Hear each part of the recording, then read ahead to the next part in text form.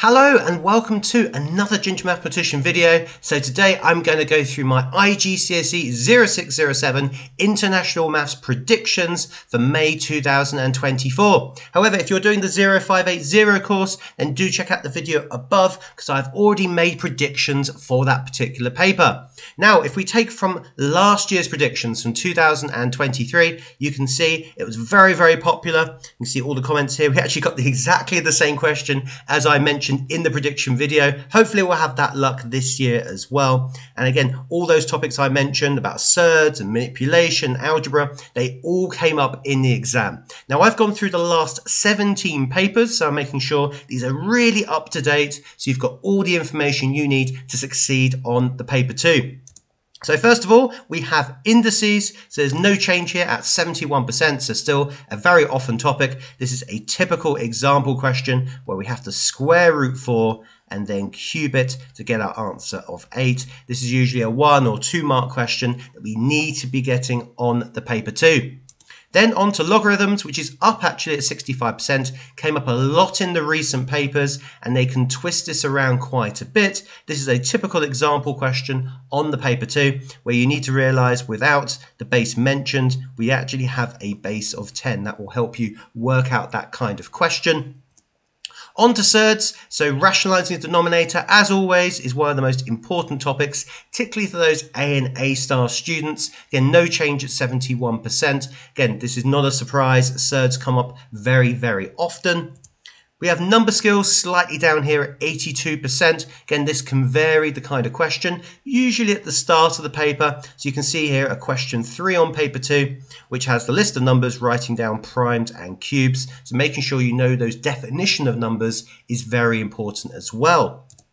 On to probability, perhaps the most important topic across both paper 2 and paper 4. Paper 2, as you can see here, at 100%, so it is always certain to appear. This is a very typical question here, they ask you to work out some probabilities. Also, and this is worth mentioning, I mentioned this in my video last year, relative frequency. That's a really important word. If you don't know what that word means, then do check out the video above, where I go through everything you need to know probability-wise in about about 45, 50 minutes.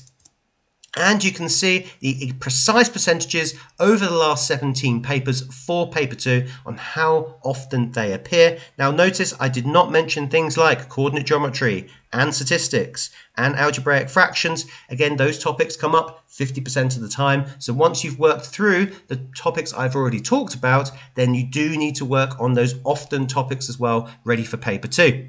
There is crossover, however, with paper four, which I'm going to talk about now. And the volume surface area 3D shapes comes in at 82%, no change here. Again, still almost certain. In this particular example question I've given you this time, we have a pyramid where you need to work work out various different angles and lengths in it.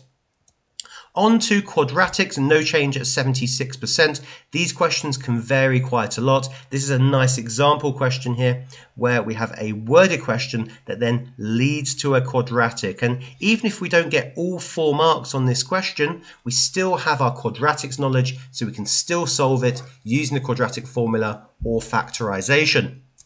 On to functions, also 76%, no change here as well. If it does come up, it does come up in a big way. So even though it's three quarters of the time, you need to make sure you revise this because this will be a ton of marks on your paper four if it does come up.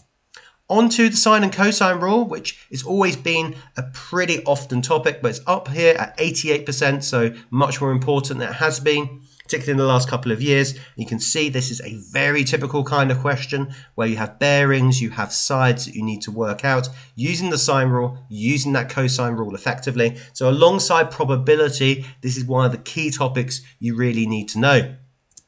On to transformations, also up. There was a little dip a couple of years ago, but it's back. It's still appearing on the papers. Here we have question three. If you need to revise all things of transformations, then do check out the video above because I go through everything you need to know, your reflections, your enlargement, your translations, and also your rotations as well. Statistics has always been a huge topic, slightly down at 135%, but it comes up a lot. Now, I said in my previous video, cumulative frequency is the topic to revise within this particular subtopic. Unfortunately, for the people that did 4-1, it didn't come up exactly as that, but for the other papers it did.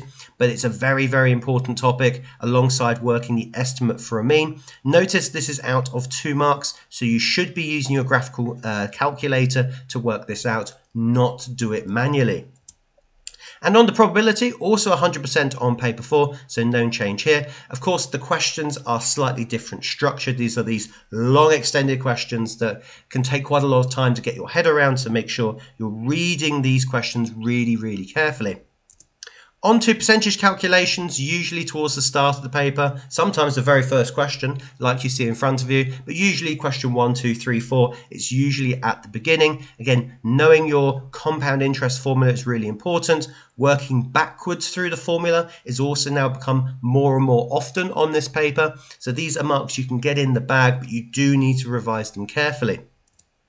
And of course, the 0607 paper would obviously have GDC skills in there as well. Slightly down at 118%, but still very, very important. Again, you need to know how to sketch your functions. You need to know how to use those functions and working out zeros, intersection points, and also at the top end of this particular subtopic, the inequality questions, working out a range of answers within your particular domain. That is also very important and you can see the frequencies in which these topics appear. Again, just like I mentioned in the paper 2 section, once you've covered those often some and also almost certain and certain topics you need those less often topics. So things like algebraic fractions at 70% is important to consider. Area of 2d shapes is also important uh, coordinate geometry as well so making sure you're working through those certain topics almost certain topics, and then often topics afterwards. Um, you can also see the other part of my spreadsheet here. Again, don't forget circle theorems. We haven't really mentioned that in this video, but it's pretty likely to come up on either paper 2 or paper 4. So the two videos you should check out next are the following. So the very first video you should really make sure you look at is all of IGCSE 0607 Maths. That's really important to get a good overall look at the particular course for both paper 2 and paper 4. However, and I have not mentioned it in this video, please do look at my paper 6 playlist I've got tons of paper 6 content. This is often forgotten about by IGCSE 0607 students and the best way that you can learn how to attempt a paper 6 is by working your way through the playlist and making sure you're familiar with those kinds of questions.